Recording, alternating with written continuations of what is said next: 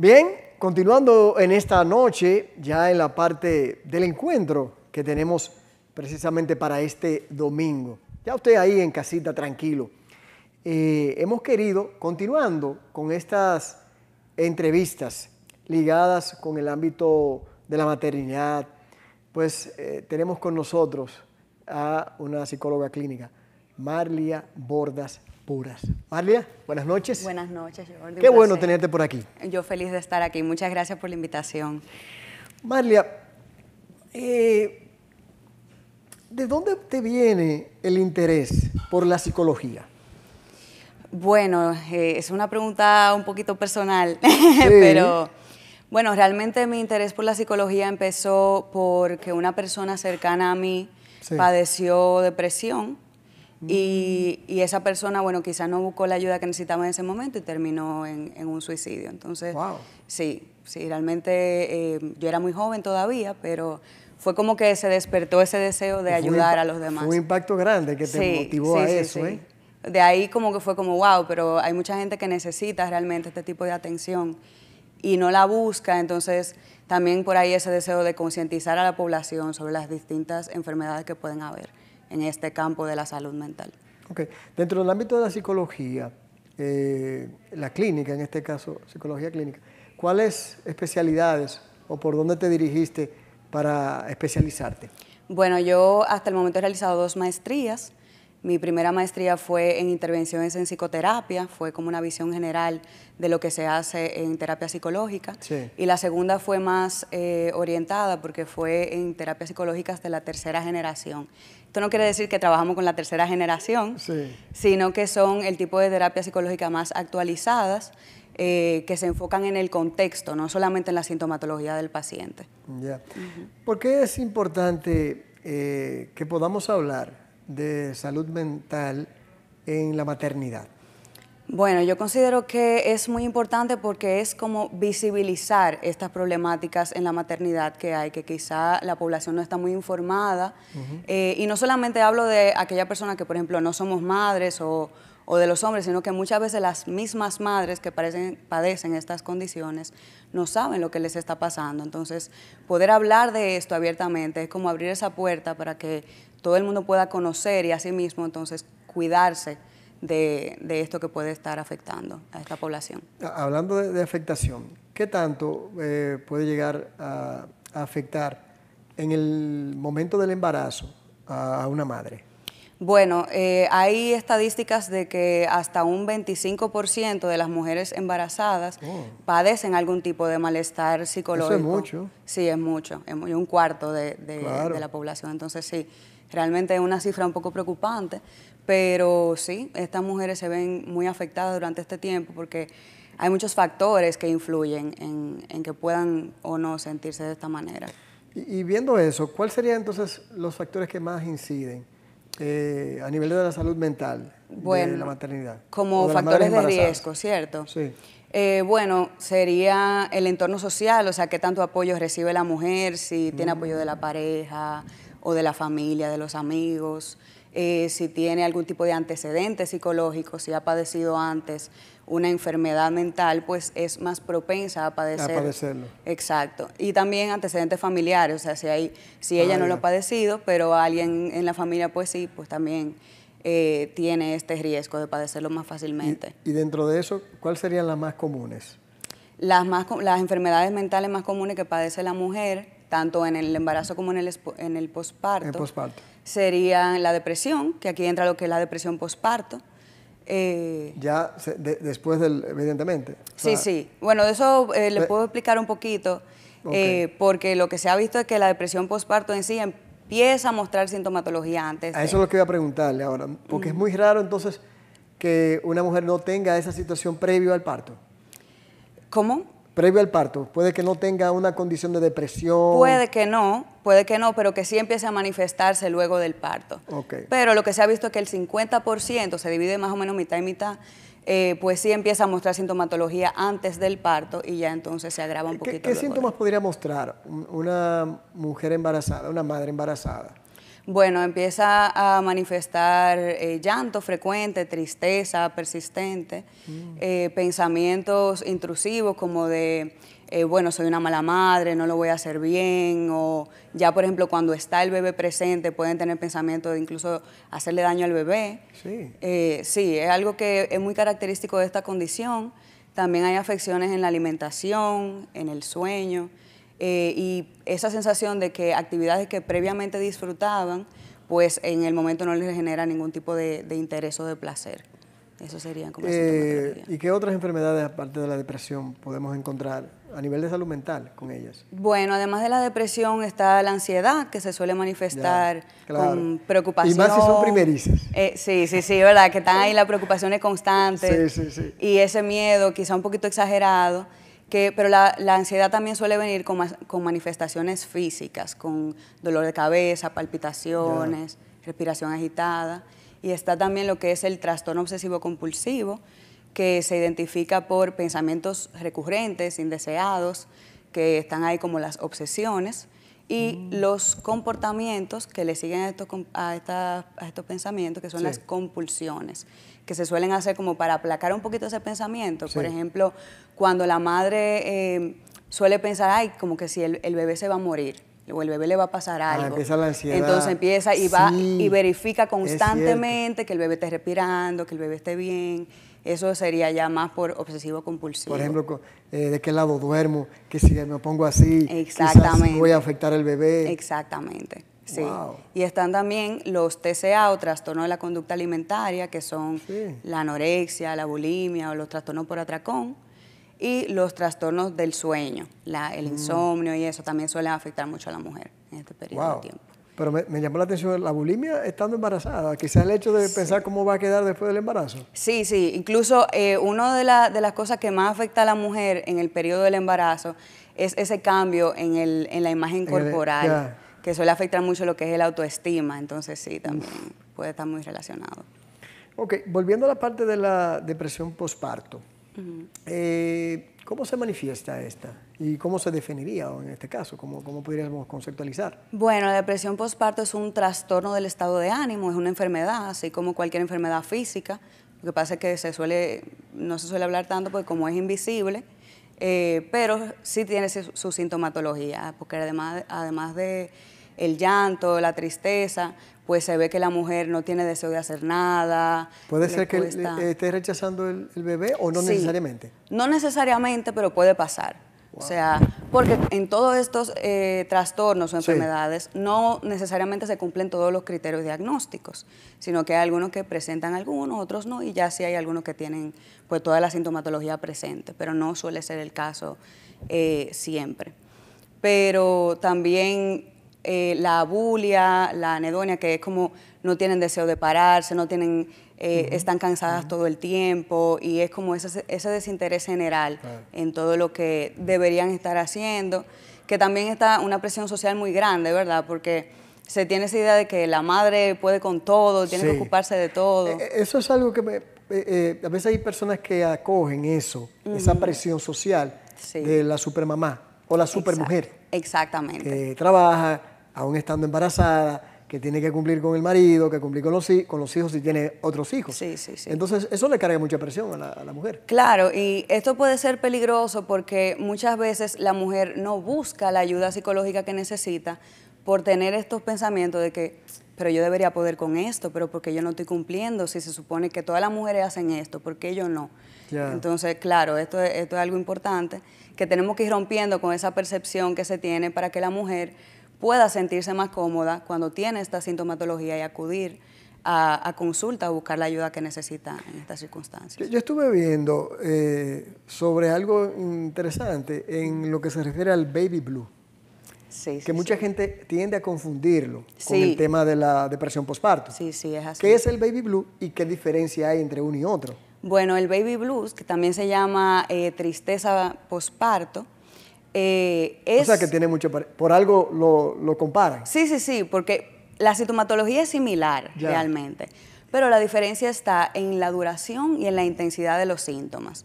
El baby blues suele ser más como una fluctuación leve del estado de ánimo. Ah, de algunos días, por ejemplo. Sí, de algunos días que viene acompañada por preocupación, por irritabilidad, por cansancio, Mm. que se puede presentar en los primeros días después del parto, Sí, sí. pero eh, no suele durar más de una o dos semanas. Mientras Ah, que ya. ya la depresión postparto, pues sí se puede prolongar Ah, más e- en el esa tiempo. fue algo que no te pregunté, eh, no le pregunté ahorita. Entonces, la depresión postparto puede extenderse. Sí, ¿Qué, qué tiempo sería algo que ya deja de ser depresión postparto a que pueda preocupar? bueno, como quiera preocupa, Sí, claro, sí, sí. Eh, pero la- las estimaciones en el tiempo varían mucho en las diferentes fuentes que podemos Sí. buscar información. Hay algunas que dicen que los primeros tres o cuatro meses es considerada depresión postparto y hay otras fuentes que hablan más como del primer año, todo lo que se... Sí. Sí, sí, sí. Todo lo que... Esa depresión que se puede presentar en cualquier momento del primer año, pues es considerada depresión postparto. ¿Puede una mujer embarazada, ya dando a luz, claro está, en el postparto, quedar atrapada en eso, en esa depresión? Usted dice que se prolongue más tiempo todavía. Sí. Bueno, si no se busca ayuda, si no se cuenta con recursos como apoyo social y, y acceso a los servicios de salud, pues sí pudiese. O, o sea, esa depresión puede llegar a tener una consecuencia fatal. Sí, sí, claro que sí. Ya. Sí. Entonces, volviendo al, al baby blue, dijimos que la diferencia es el plazo. Sí, es como la intensidad y la duración de los síntomas. Esa es la, la ¿Y diferencia. a qué se principal. debe lo del baby blue? Lo mismo, el cambio hormonal. eh, Exacto, la- sí. El baby blue se debe más al cambio hormonal. Ya la depresión postparto Ah. tiene otros factores que sí eh, juegan, como el apoyo social, que si hay antecedentes familiares Ya, lo o que- lo que personales. mencionado. Pero eh, el baby blues tiene mucho que ver con los factores hormonales. Con esto, porque hay una fluctuación muy drástica en los niveles hormonales de la mujer en el posparto. Entonces, por eso pueden haber estas Y- y, sintomatologías. y esas, eh, lo que mencionaste ahorita, son las causas de la depresión postparto. Bueno, sí, sí, sí, se puede Eh, considerar. o sea, el, hecho de, de- de- de la, de cómo se ha acogida a nivel social, interfamiliar. Claro, la ¿Se podrían llamar como causas? Sí, ¿O hay sí. otras? Bueno, eh, dentro de las causas podemos relacionar los factores hormonales, los factores genéticos, que son los de la Claro. Los factores ambientales, que ahí no solamente juegan papel que si la mujer tiene el apoyo de la familia, de los amigos de la pareja, sino que también... Lo que les rodea. Sí, pero también está, por ejemplo, si tiene eh, violencia en la pareja, si tiene... Mm, o sea, al- que com- eso complicaría más. Claro, claro. Eso se da mucho, licenciada. ¿eh? Lamentablemente, sí. Sí, se da y más en un país como el que vivimos nosotros, Exactamente. donde el nivel de violencia que hemos estado viendo, Es muy preocupante. eh, precisamente en el caso de las mujeres, eh, eso no varía, o sea, eso no, ha- no hace que el, que el hombre eh, ceda ni atenúe las- su, su comportamiento. No. Lamentablemente no. Pero, pero sí, este es uno de los factores que también puede perjudicar mucho, porque claro, una mujer que está en una época tan vulnerable, recibiendo también maltrato, puede ser físico, psicológico, pueden haber agresiones de cualquier tipo. Eh, y por ejemplo, si se tienen también problemas económicos, eso es algo que también puede, puede influir. Sí. Perfecto. Bueno, vámonos a ir a, a una primera pausa y vamos a seguir conversando en este aspecto de la psicología, de la parte de salud mental. Ya volvemos. Bien, entrando ya eh, nuevamente en materia con la licenciada Marlia Bordas Puras. eh, yo, que- yo tenía algo em, de, de preguntarle, pero no quiero dejar pasar esto. ¿Quiénes son sus padres? Bueno, mis padres son Víctor Bordas y Eisel Puras. Víctor Bordas es médico. Sí, Víctor Bordas es médico. Wow. Sí, ¿Y qué fue para ellos el hecho de que asumieras esa postura de, o, o esa decisión de, de la psicología? Bueno, eh, al principio chocó un poquito. Sí. Sí, porque, porque- porque el doctor no quería que usted bueno, él vamos a decir que era diferente la psicología. Ah, ya. Y como que no, claro, en el momento en que yo empecé a estudiar, la psicología se ha ido abriendo paso en los últimos años.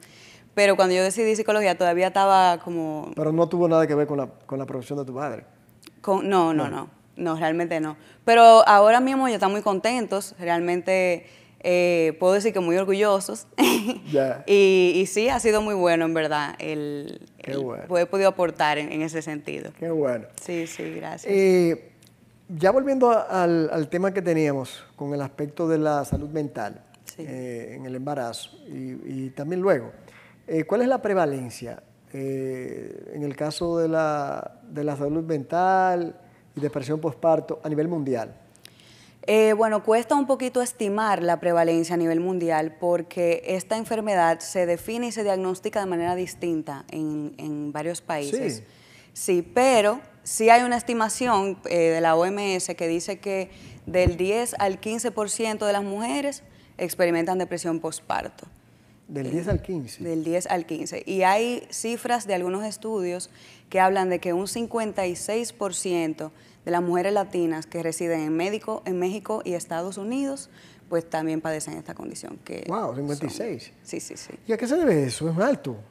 Bueno, las personas, vamos a decir que estas mujeres latinas que residen fuera de su hogar, quizás están solas, ah, y hablábamos ahorita de los factores de riesgo, pues pueden, ¿verdad?, eh, tener que, ver con esto. Que fue de lo que mencionamos ahorita. Tiene mucho que ver eh, cómo, es, cómo, cómo lo asume el ambiente, todo eso, eso puede, eso puede tener, dar una idea de, lo, que Si están solas, si tienen un trabajo digno, vamos a decir, y todo eso. Claro, pues. y la mayor parte de esas, de esas personas que van a otros países o, emigran a otros países, pues tienen que, tienen que pasarla difícil. Exacto. Ya. Y en el caso de nuestro país, eh, ¿hay estudios o estadísticas?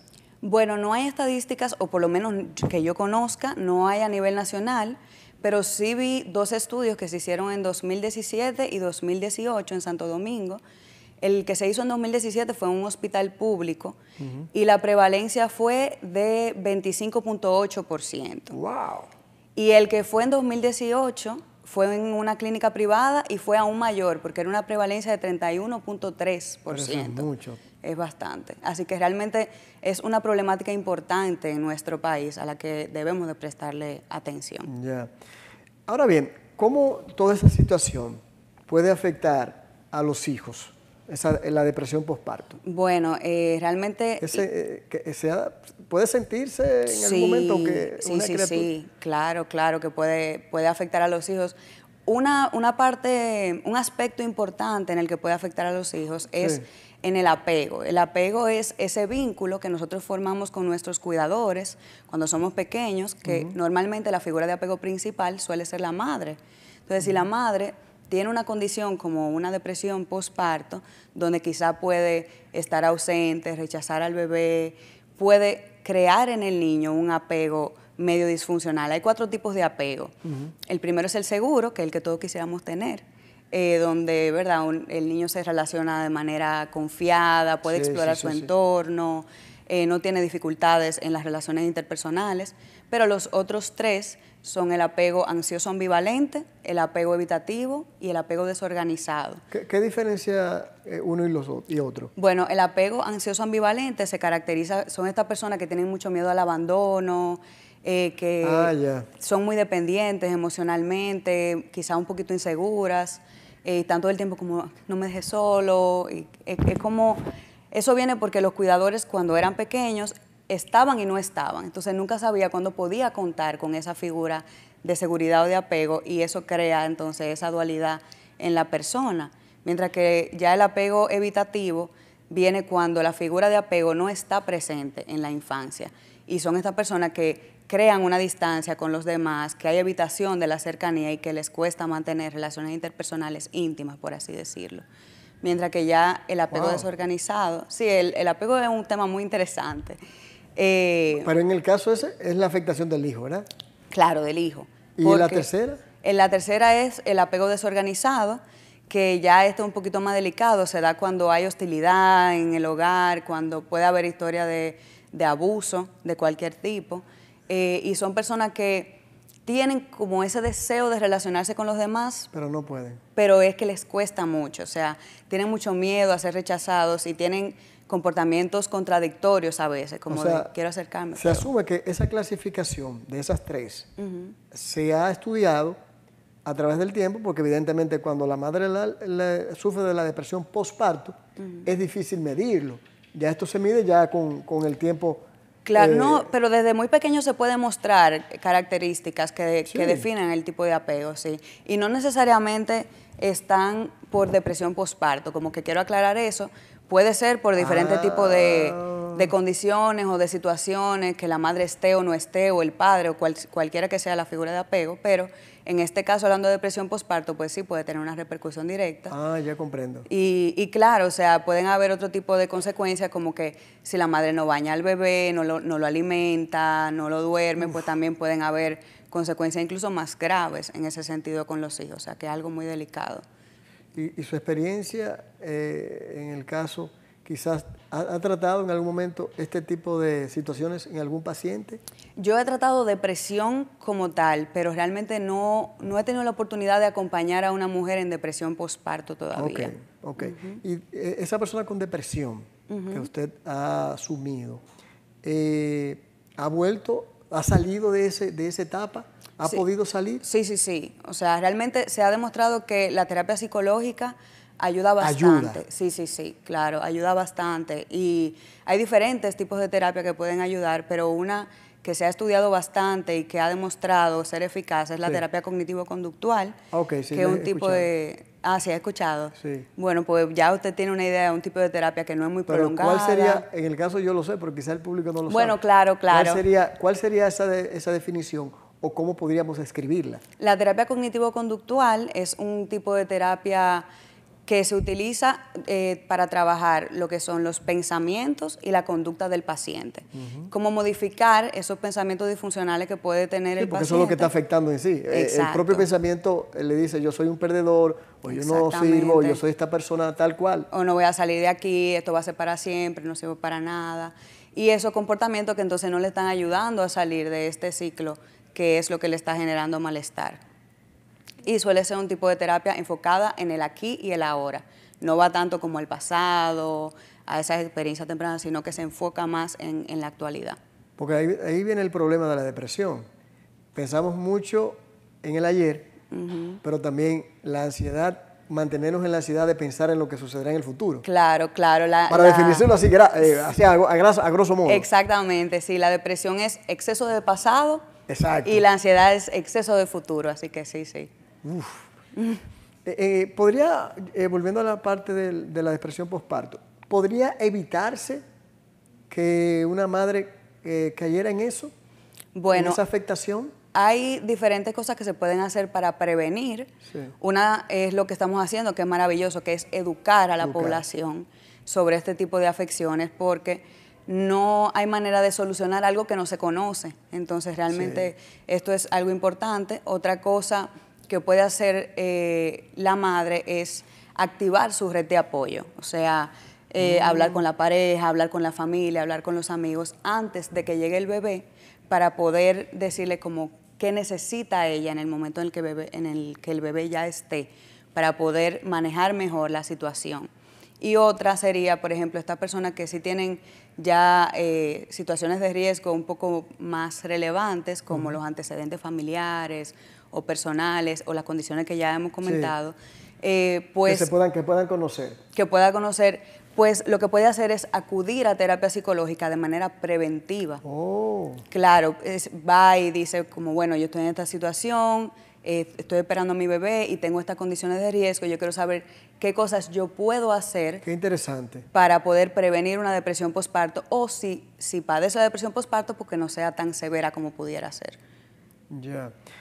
Y, por ejemplo, si ya, ya tiene la depresión postparto, ¿habría un tratamiento para esa madre? Sí, sí, claro. O sea, ¿Cuál sería? Aquí hablamos de eh, la terapia, como acabamos de mencionar, ya no de forma preventiva, sino ya, ¿verdad?, eh, atacando eh, la sintomatología. Están también los psicofármacos, los antidepresivos que se usan. Hay que tener mucho cuidado con esto. Eso iba a preguntar ahora. Sí, sí, eso siempre tiene que estar recetado por un profesional de la salud, un, psiquiatra en este caso. El, psicólogo no medica. lo digo como para, para el público. Sí, sí, para el conocimiento. Exacto. estas dos cosas son las que se usan más en tratamiento. Y ya, bueno, pues lo que es apoyo social, como hemos mencionado, eh, el que la mujer pueda hacer ejercicio físico ayuda bastante. Se ha demostrado que el ejercicio físico tiene mm. un sinfín de beneficios en lo que es la salud mental. Y el cuidado personal, que la madre pueda dormir lo suficiente, comer bien, asearse, pues le ayuda también a poder sobrellevar más fácilmente esta condición. Qué bien. ¿Cuál sería, si yo le preguntara, una de las mayores satisfacciones que usted ha tenido hasta ahora en su joven carrera? Bueno, eh, realmente es muy satisfactorio ver cuando un paciente mejora. Eh, nosotros tuvimos yo tuve la oportunidad de participar en un proyecto que se llevó a cabo aquí en República Dominicana, donde dimos terapia grupal de manera gratuita. Eh, y eran muchas las personas que, estábamos tratando en ese momento, y uno ver cómo llegaron a consulta el primer día de la sesión grupal y cómo se fueron al final, pues es algo que llena mucho y, uno piensa como, por lo menos yo he sentido que, bueno, estoy en el, camino correcto, estoy haciendo lo que me gusta y, eso de poder acompañar a esas personas que quizá no tienen el, recurso necesario en ese momento para salir de la situación que están experimentando. ¿Ha tenido experiencia en el ámbito de la psicología con investigaciones? Sí, sí. Eh, te, llama la atención o le llama la atención? Sí, sí. Realmente yo tengo ya varios años trabajando en investigación. Ah, sí. Sí, eh, con el doctor Zoilo García. Ah, usted va a tener mucha. me consta. Sí, sí, sí. Yo estoy ya... Eh, bueno, el doctor Zoilo fue incluso mi, asesor de tesis en la universidad, o sea que tenemos ah, bastante de... Qué bueno. Sí, sí. ¿Y en qué ámbito más o menos? Bueno, nosotros trabajamos con lo que son los desórdenes emocionales y la ciberpsicología.